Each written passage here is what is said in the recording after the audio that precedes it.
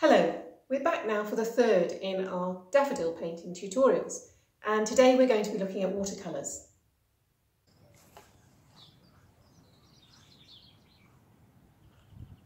Just getting organised, getting some paints and brushes out. Now I don't know if you can see on the paper before me, this is this is this is a fairly fine grain watercolour paper uh, and on there I have actually already done a very very light sketch of where I'm planning to put my daffodil. I've stuck with just the one bloom and a few leaves at the moment and working up the lightest of the yellows. The outline is just a guide to give me a little bit of confidence as to where I'm going. And starting with the yellow, the lightest of the yellow paints that I've got. One of the things that is really fairly crucial with watercolours is to identify where your highlights are going to go fairly early on in the painting because it's a lot more effective if you can just leave the lightest of your highlights uh, plain white paper. Uh, it sort of gives the finished painting a sort of glow. So I'm being really careful to leave areas of highlights on the leaf there pulling in the lightest yellow colour.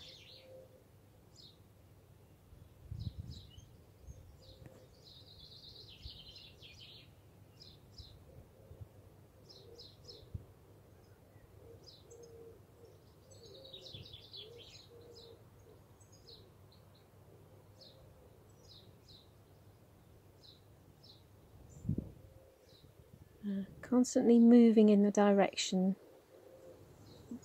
of the leaf.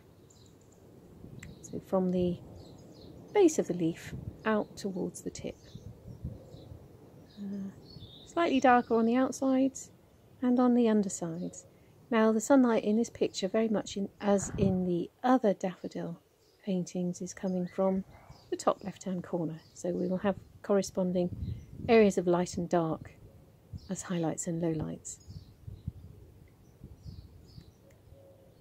And as you build the picture up, it's quite a good idea to live, leave more highlight than you're expecting so that you can actually uh, build it up if you feel you need more colour somewhere rather than try and lift it out. It is possible to lift colour off the page, but it's never quite the same.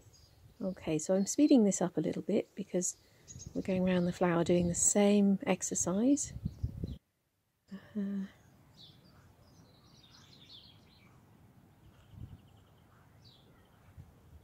And there we go.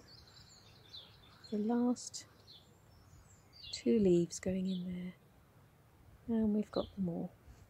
Okay, so now we're moving on to the trumpet section. Uh, now it's a little more tricky this, but this is the little lacy section. Now I'm putting in actually here what will effectively be a shadow on the inside of the trumpet just behind the top of the frill.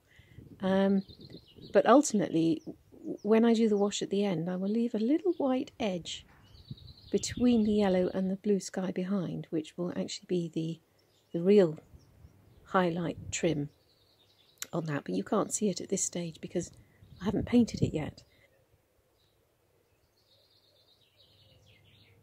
There we go, going down into the centre of the trumpet, um, pulling the paint down into what will be the deepest part of the plant.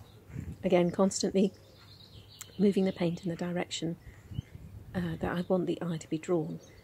So I'm now moving on to a darker yellow here, building up not only the depth of the colour but the low light areas again. Once again we're speed painting here, but don't rush, enjoy it and take your time because that's what this is all about.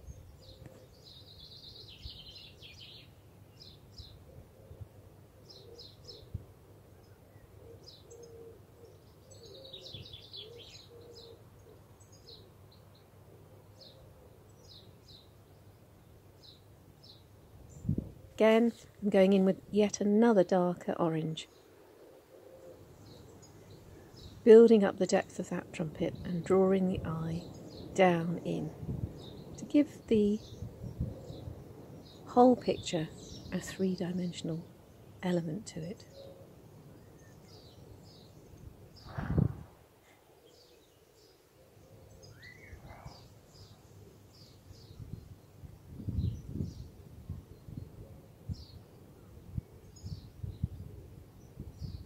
Really, we keep working round, doing similar exercise with different layers of colour and build up the strength of the colours.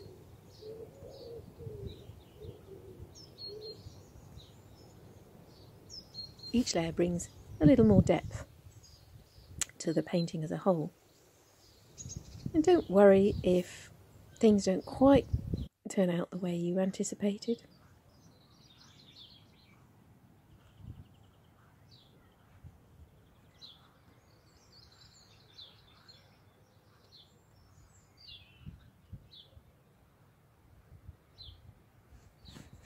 Something about daffodils, they're so bright and cheerful. It was lovely this morning out on my morning run to try and get a little bit of exercise. Fortunately, we're in the middle of the country, so there's not very many people around, so I didn't have to worry about uh, social distancing particularly.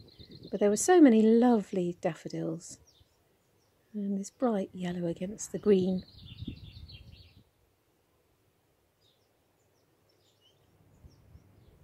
just gorgeous. Okay, so I'm going to leave the main flower now and move on to the rest of the picture. We've got the bud in the corner there, and then onto some green, slightly different colour now. Now I'm starting with a very, very light green, but I'm still just picking out where I'd like these leaves to go.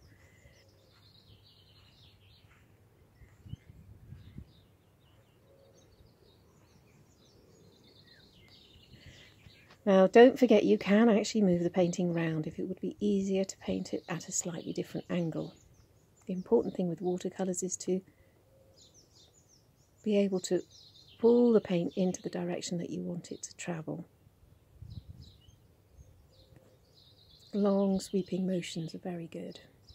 Okay, uh, in order to make the stems and the leaves look more three-dimensional, I'm putting darker areas in we forget, got to remember again those highlights and lowlights.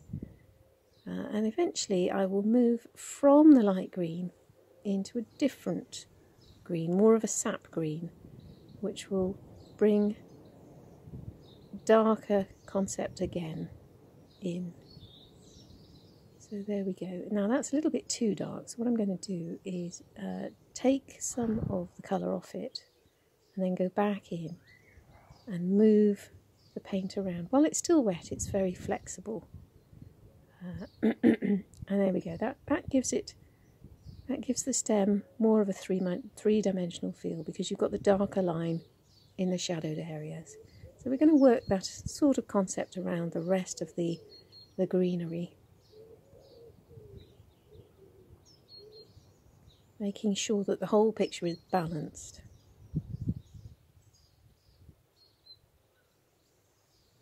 But remembering to leave those crucial highlights.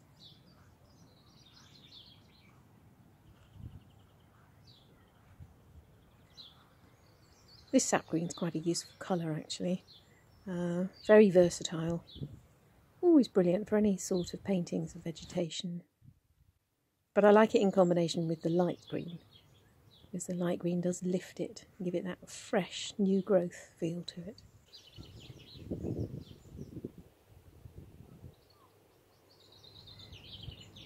It is lovely to see the spring developing in spite of the fact that we are living a different life than we would necessarily want to at the moment. But the world is still out there and the seasons are still changing.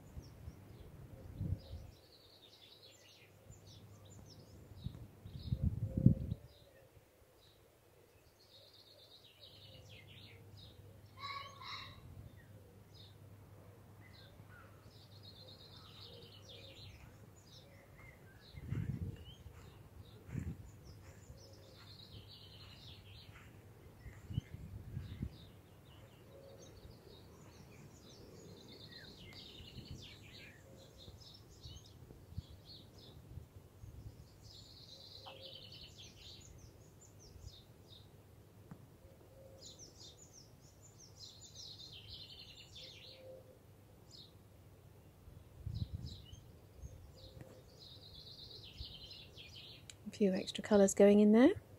Now I'm also adding, it's not so easy to see on the video, but a very, very slight touch of the green in those shadowed areas in the very depth of the flower. Uh, and that's really quite effective to give it a little bit more of that three-dimensional element and pulls the flower and the stems together. Now the tricky bit now uh, is going to be the background uh, because obviously we couldn't put a blue background down and then paint the yellow on top. It just wouldn't work with watercolours in the same way that it does with acrylics. However, I'm not very good at putting washes on. Um, in many cases, I would be tempted to just leave this as it is. Washes can get incredibly messy. Um, but the trick is, I think, to make sure that you've got plenty of the colour that you're going to use made up ready. You can see I've got a little puddle of blue there.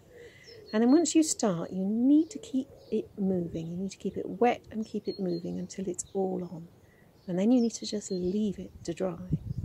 Uh, and that's the point where I tend to start fidgeting with it, and I always regret it later on. So I've started in with the point. The brush is loaded with plenty of blue.